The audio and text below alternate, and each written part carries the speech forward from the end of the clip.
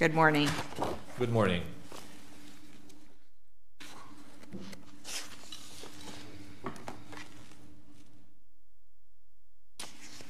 May I please the court? My name is Alexander Gelberg, and I represent the petitioner in this case, Mr. Edgar Chavez. I would like to reserve two minutes. Two minutes. Two minutes? Two minutes for about. All right, thank you. Your Honors, this case centers on two main issues. Failure of the agency to consider, to, to conduct proper legal inquiry and consider the aggregate risk of harm, risk of torture to Mr. Chavez if he gets deported.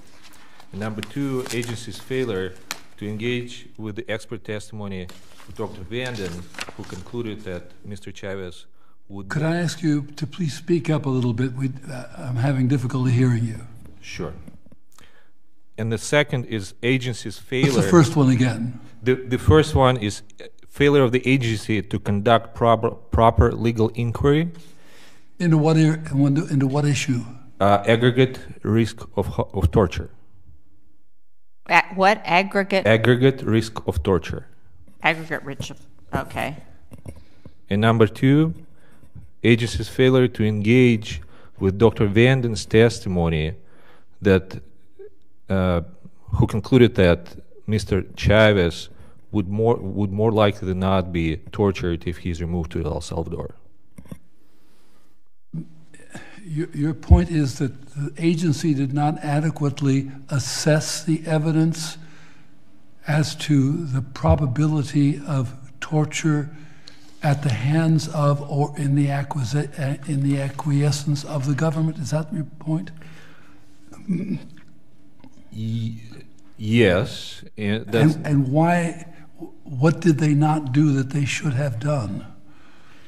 they did not engage uh, with uh, Dr. Vanden's testimony as to uh, particular circumstances and details of different accounts of torture.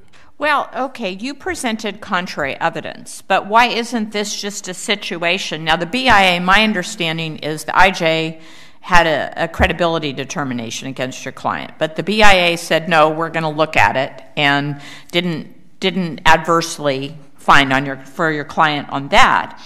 But when you have contradictory evidence, because there was evidence both ways, how can you know because the BIA agreed with the other evidence more, isn't that a problem for you? I mean, that's what that's what courts do. You know, when you hear evidence on both sides, you can believe some more than others, or you can weigh some more than others. And when that happens, that's a pretty difficult standard to overcome on appeal. Your Honor, I understand that the BIA engaged in factual determination for different accounts of torture. Nonetheless, the agency must take into account highly probative and potentially dispositive evidence. And um, in this particular case, uh, there's evidence that they failed to do so. So our position that it has to go back to the agency. What is the evidence that you think is so highly probative that it is a legal error for the BIA not to take it into consideration? So uh, the one that uh, the most important is Mr. Vanden's conclusion uh, that assessed the aggregate risk of torture. He concluded that Mr. Uh, he concluded that Mr. Chavez would be more likely than not tortured uh, from uh, from By the government? by- I'm sorry, By the government by the government and By- by the gangs. and by the gangs And- with the acquiescence of the government? Correct. He's an expert witness and he, that, he gave his opinion, right? Correct. Does he have to be believed? He doesn't have to be believed, but there is no uh, there is no determination as to his credibility on the record. Well, except, well, there were things in terms of, because I think Dr. Vanden testified that gang members are usually between ages 9 and 10 and into their 20s. And um, he acknowledged that your client was 37 years old. He said he looked kind of young, but there were things that sort of took your client outside of the, uh, you know, the age where it would be problematic. And I think that wasn't it? Uh, didn't he also? Uh, hadn't he done something about his tattoos too? Yes. And he admitted that he really wasn't readily. Your client admitted he wasn't readily identifiable as a gang member. I mean, it's like I could have been in a gang, but you know, now that I've gotten a little more senior, I might not look so likely that I would be in the gang, and I've covered up my tattoos and all of that. Um, Your Honor, if I, if I may, I would like to address each of those points yeah, so that sort of eroded on what Dr. You know, Vanden said. Yeah, so as far as the uh, age of recruitment that uh, the board and the immigration judge uh, referred to, and um, uh, based on this, uh, concluded that the that was one of the factual determinations uh, involved in um, concluding that Mr. Chavez wouldn't be tortured by the gangs. Um, I submit, Your Honor, that the gangs and, and police on the streets of El, Salvador will not be looking for Mr. Chavez's ID or birth certificate to verify his age. They're going to look at him and see, does he look young? Does he look like member of, uh, as far as his appearance, does he look young enough? And that's what, that's exactly what uh, Dr. Vanden was alluding to. And um, if you look at the board, uh, boards and immigration judges' opinion, they never engaged this testimony of Dr. Vanden. Now, as far as the tattoos, Your Honor, What do you mean by engage in the testimony? I mean, uh, I understand you to mean that if Dr. Vanden says someone, something, to engage with his testimony is to accept it. On the other hand, there's evidence that this man has left the MS 13 gang following his release from prison in 2005. He's in his 40s. He joined the MS 13 when he was eight or nine years old in the United States. It's been a long time since then, and he's got a tattoo on his left foot which isn't visible.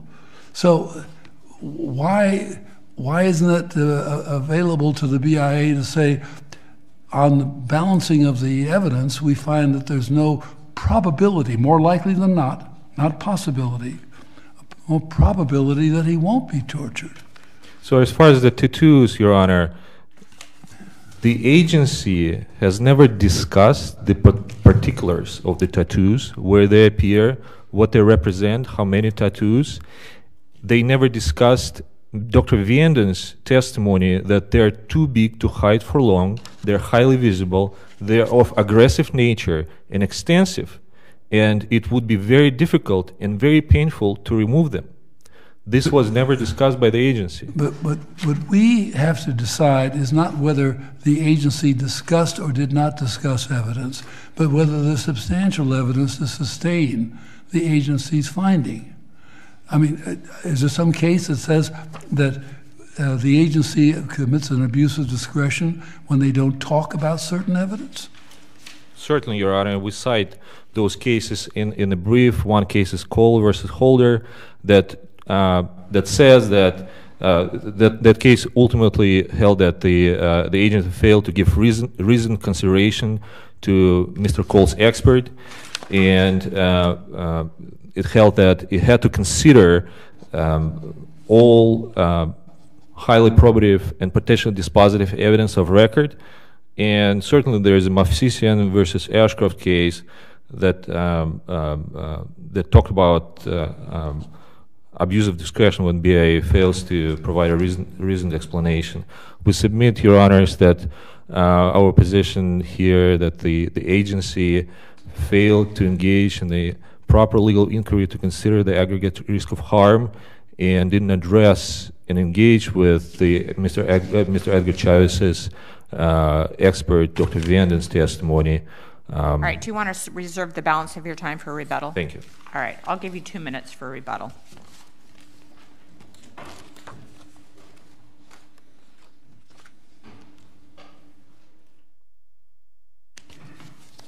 Good morning. Good Morning. Speak into the mic there.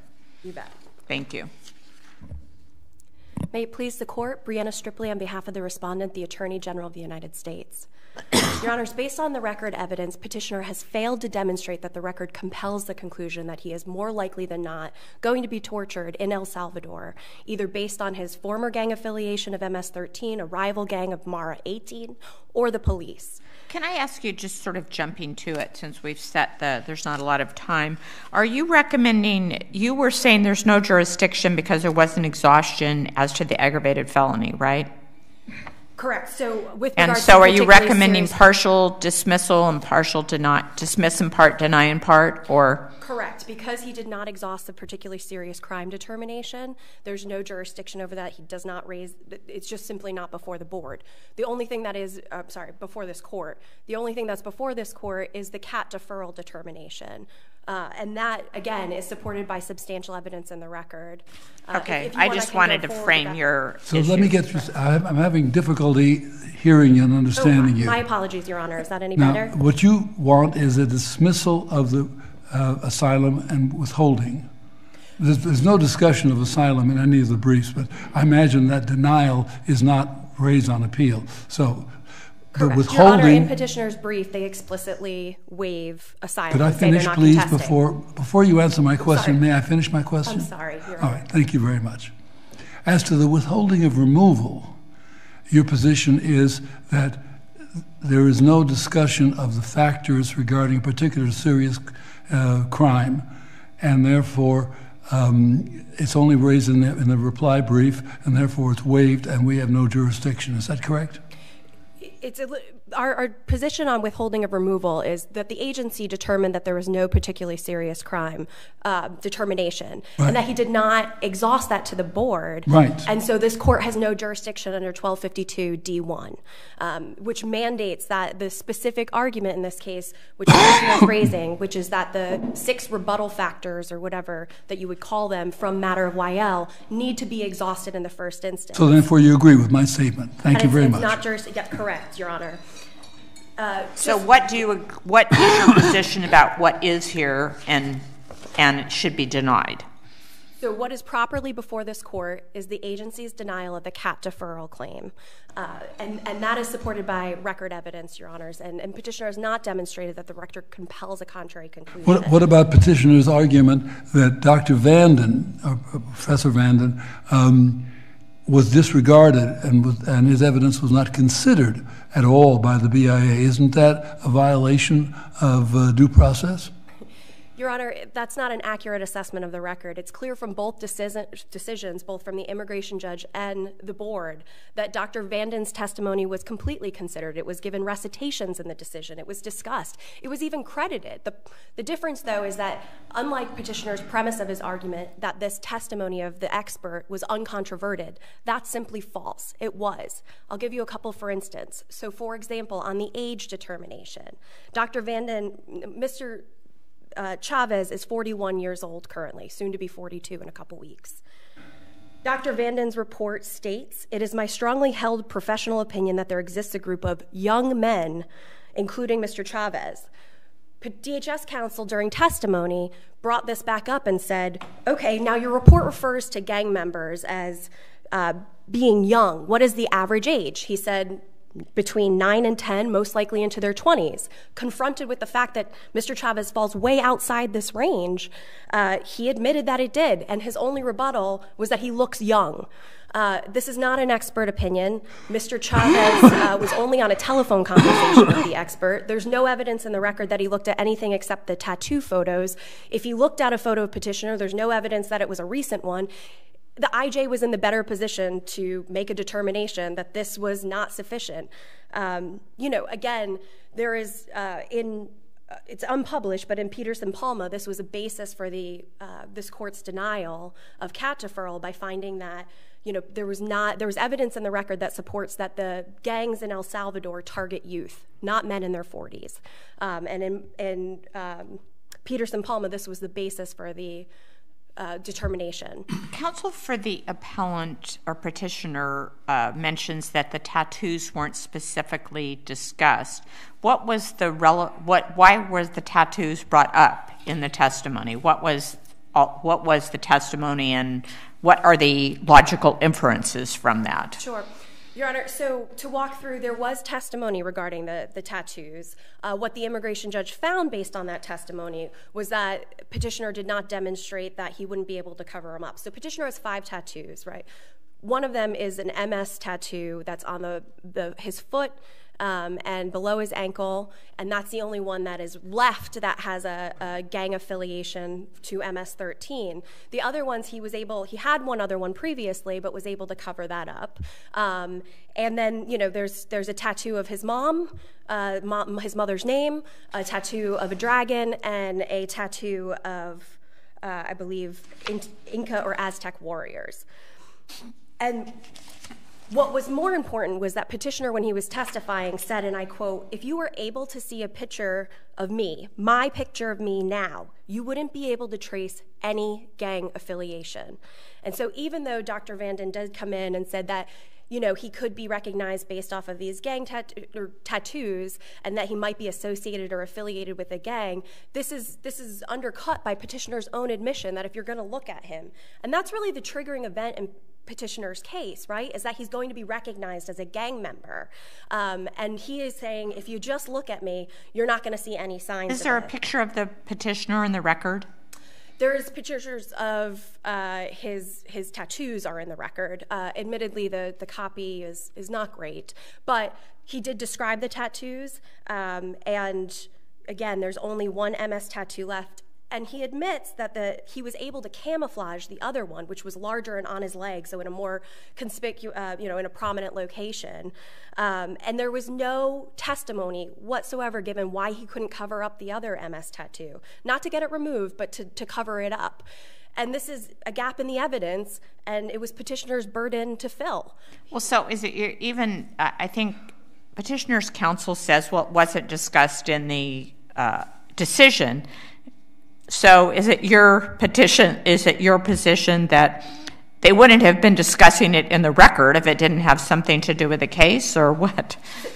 So we would disagree that it wasn't discussed in the decision. The immigration judge's decision specifically finds that he didn't give any evidence on why he couldn't camouflage it or why he couldn't cover it up with another tattoo. He just didn't provide the evidence on it. um, so, you know, did the immigration judge specifically list out all the tattoos? I mean, no, but, you know, they rendered a finding that this was not substantial, particularly in light of the, the rest of the evidence, which is that if you just look at him, there is no trace of gang affiliation, and that's out of his own mouth.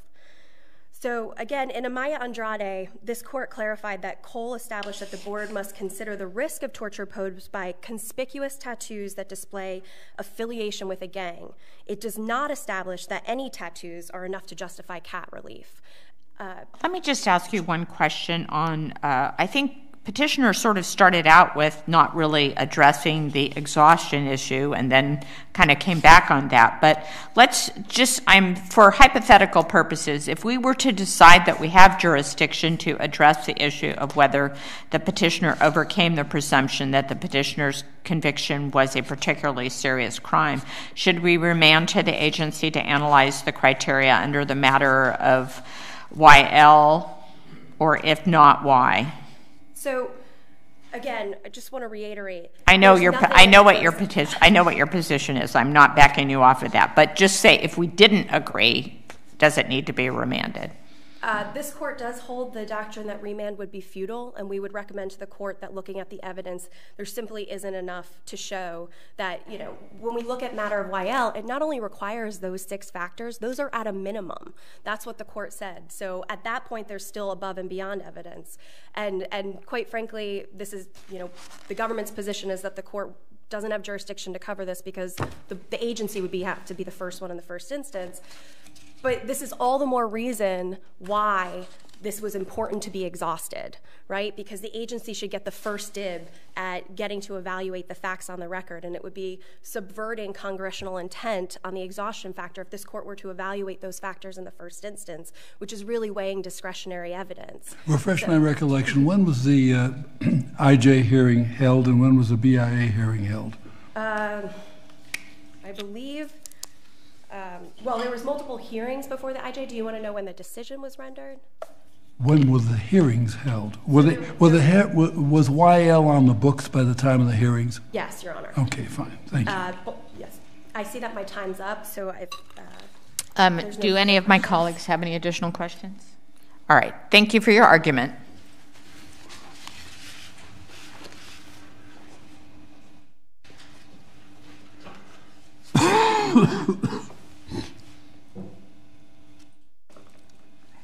Uh, Please, the court, Your Honors, I would like to address just, just a couple of points. Number one, um, uh, counsel for the government said that the, the IJ and the board completely considered Dr. Vanden's testimony not true. The agency never took into account, engaged or considered Dr. Vanden's conclusion that Mr. Chavez would be tortured on account of all those different sources of torture that he discussed in the in the declaration. Well, Dr. Vanden didn't quite say that it would be a certainty that he would be uh, tortured. Uh, Dr. Vanden said that there was a, a range of um, interrogation uh, techniques used by the police, and sometimes they would just uh, talk to him and uh, find out where he was going, and sometimes they would uh, beat him up. So he didn't say that this was, in this case, more probable than not that this man would be tortured, did he? That's correct, Your Honor, but the, the proper legal inquiry is considering the aggregate of torture from all different sources of torture, not just police, and not just police on the, uh, during the re- reception process. No, no, no. It's either the police torturing or others torturing with the acquiescence of the police. Correct. Now, acquiescence doesn't mean somebody gets tortured and the police don't know about it. That's not acquiescence. The acquiescence means that there is some positive role of substantial matter by the police in allowing the torture to occur. Where's the evidence of that? I believe the government took it off the table by um, conceding that this issue was not uh, was not decided by the agency on the issue of acquiescence. I I have an additional question. Um, You, do you- at counsel table, could you identify who you have at counsel table? The counsel. excuse me. Who's at counsel table? Is Oh, that- this is uh, Mr. Craig Countryman. my Oh, your, one of your colleagues? Yes, yes, Okay, thank you. All right, your time has expired, and I did give you a little additional time. Thank you very much. All right, thank you both for your argument in this matter. It will stand submitted.